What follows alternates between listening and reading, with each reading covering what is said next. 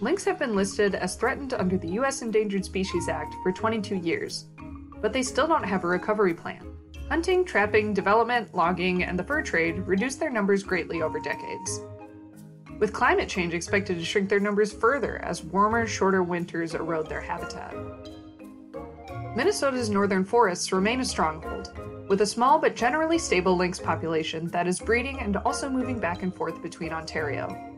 Maintaining those corridors to Canada's boreal forest is considered essential to the lynx survival. So is an unusual research project into the cat's poop.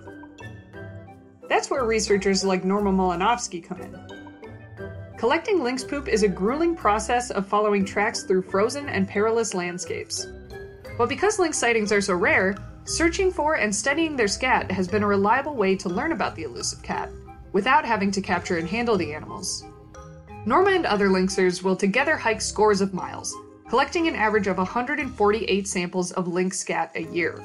The samples provide important information about the creature's population, reproduction, families, and survivorship. The data will help inform the National Lynx Recovery Plan, with a first draft expected in 2023. Learn more about lynx and the people trying to protect them at StarTribune.com.